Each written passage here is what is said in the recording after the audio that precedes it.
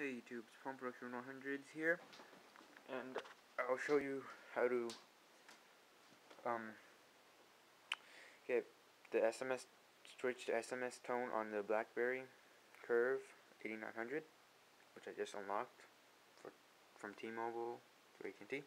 Okay, I'm gonna go here because it's easier for my camera see. Okay, first you push the, the button to open menu, you go to your profiles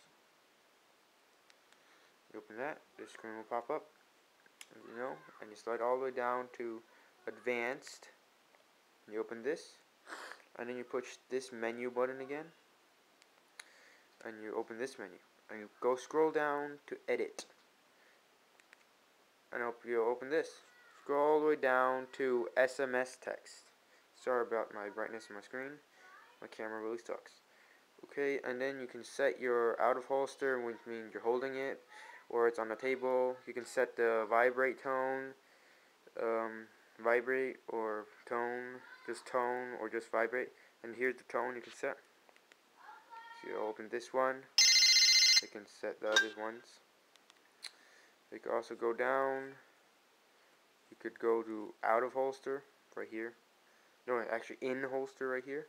Can, that's like in your pocket or in, well, in a holster. And you can change the things.